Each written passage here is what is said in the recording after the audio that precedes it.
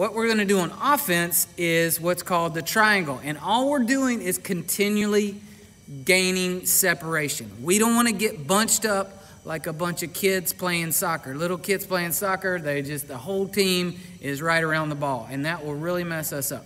So you can see Coach Mark is down in the sweet spot. He's just north of the rectangle. He's going to turn and shoot. That's where we want to get the ball. We want to get it down to the low post and turn and shoot. So going back to the whiteboard, what this looks like is our point guard Camden is going to have his initial pass go to Mia. And Mia is not even going to put the ball on the floor, possibly, and she's going to get it to Coach Mark. Coach Mark's going to turn and shoot. This makes up a triangle. Okay, that's our first triangle. Camden, as soon as he passes it to Mia, is going to go down here to the corner, which creates another triangle.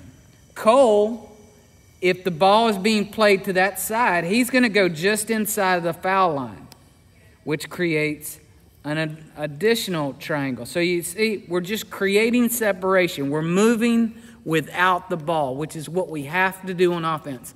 I don't care on defense if you stay in the same place as long as your player or the person in your area is in the same place. But on offense, we have to move continually.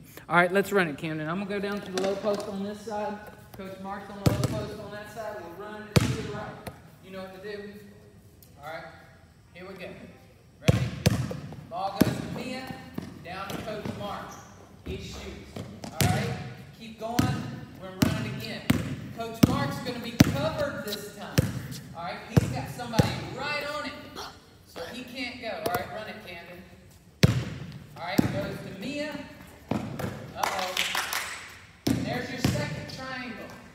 Got a shot. All right, keep running.